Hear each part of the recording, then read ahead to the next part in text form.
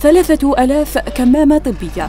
بادر متطوعون من أساتذة ومتربصين بمركز التكوين المهني أولاد محمد بشلف بتصنيعها كمرحلة أولية ضمن مسعى لإنتاج نحو ثمانية ألاف كمامة طبية لفائدة مستخدمي الصحة بالولاية. بادر مركز التكوين المهني والتمهين أولاد محمد في مبادرة آه، خياطة حوالي 8000 كمامة صحية بمختلف الأنواع.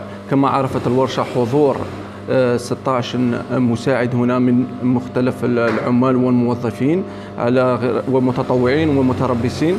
المبادرة التطوعية لقطاع التكوين المهني تهدف إلى الحد من انتشار العدوى وعدم تعريض حياة مستخدمي الصحة للخطر بعد تسجيل ندرة في وسائل الوقاية بالأسواق المحلية. خيطنا كمامات آه، ذو نوعية قماش وفيلتر والآن رانا نديرو في des bavettes آه، jetables آه، بمبادرة أساتذة متربصين متطوعين إداريين. آه، والحمد لله يا ربي إن شاء الله ربي يوفقنا في المبادرة.